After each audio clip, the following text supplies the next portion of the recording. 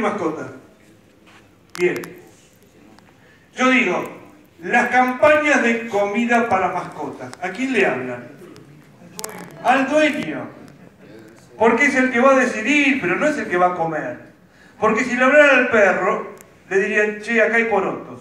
Pero si nosotros los dueños nos dicen, che, acá hay porotos, decimos, no, eso no. Eso no es comida para mi hijo. A mí hablame de sabor a cordero. Al viento y brilloso. ¿Me explico? Entonces, ¿quién les compra y quién les consume? ¿A quién le hablan cuando comercializan algo? ¿Me explico? Si lo hubiera, dijo este señor que algo supo, dijo, si lo hubiera preguntado a mis clientes qué era lo que querían, me hubieran respondido que querían caballos más veloces. ¿Por qué este hombre dijo esto? ¿Qué en el momento?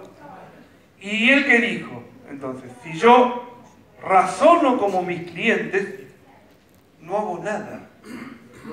¿Eh?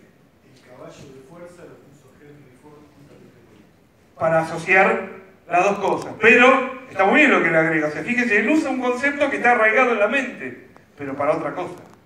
Solamente como comentario. Sí. Solamente como comentario. Sí. Me parece muy acertado.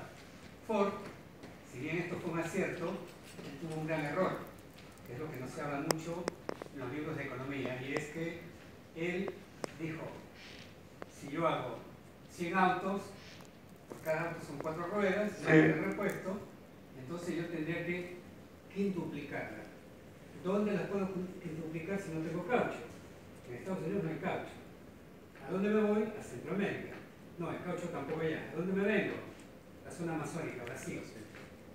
En Brasil fundó lo que se conoce como Fordlandia. Compró tierras, el equivalente a lo que sería, por ejemplo, a dos provincias de Santa Fe, Sí. para cultivar caucho. ¿no? Conclusión. La geografía, el clima, la tierra, el cultivo, los hombres que se le morían, tuvo que dejarlo. Hoy una empresa aquí que descubrí el año pasado, que se dio cuenta, interesante, y descubrieron que Forlandia existe. Es un poblado abandonado.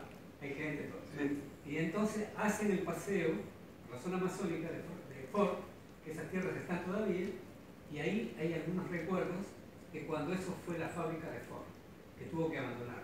Entonces, Sí, yo, eh, a ver.